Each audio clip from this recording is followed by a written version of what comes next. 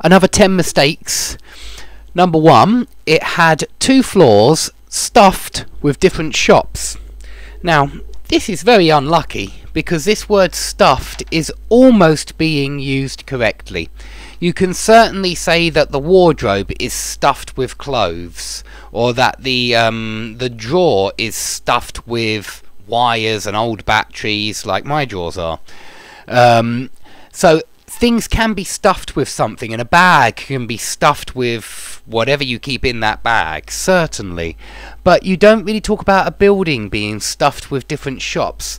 Um, you you could say it had two floors packed with different shops. And so, really, this is just a collocation mistake. Um, and I felt quite sorry for the student who made this mistake because actually he was very close to being correct and being very natural as well. So, stuffed is a good word, but it's just used for wardrobes, drawers, bags, other places, not the whole building.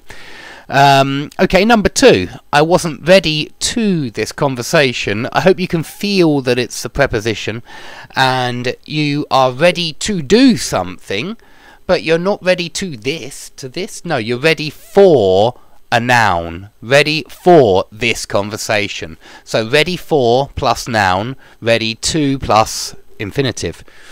Um, okay, number three. I couldn't reject the invitation. Now I looked this up on Google because I figured that Google would probably have a, quite a few entries for reject an invitation and it does.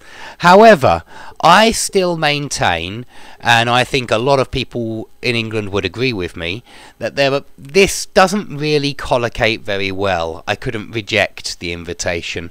It's much better to say I couldn't refuse the invitation or I couldn't decline the invitation both of those words work very well with invitation, meaning, you know, say no to the invitation.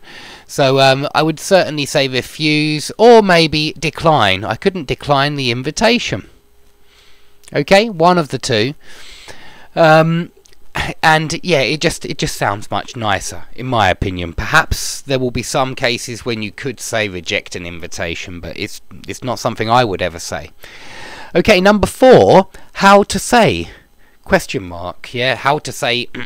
now, I've spoken about this in another lesson way a long time ago, perhaps Common Mistakes lesson 4 or 5 or something like that, but I can't remember which one it was, but I want to repeat that it's not acceptable because I still hear it very, very often.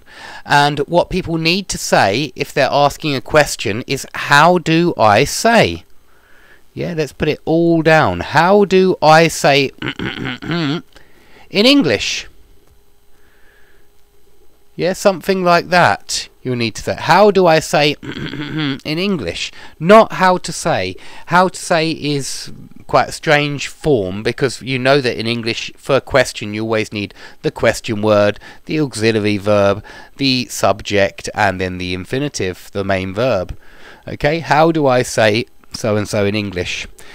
Um, okay, number five, to make revenge. Very close, but we don't say make revenge, we say take revenge or get revenge. Both, either of those would be fine, but not make revenge. Okay, number six, the bank returned those money to me. It's this word which isn't nice with money. Um, money is actually singular. And so we need to say this money. The bank returned this money to me. You don't talk about money are, you talk about money is. And so money is singular, this money. Number seven, I don't believe the other banks.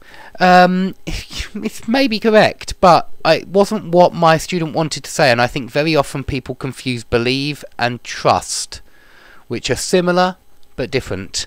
I mean, trust means that you have faith in your bank. You're certain that they won't suddenly take your money and not give it back to you for some reason. You're, you trust them. You think that they wouldn't do that, that they would always make sure that you got your money first. Um, believe is more when you believe something is true or not true, or believe someone's words are true or untrue.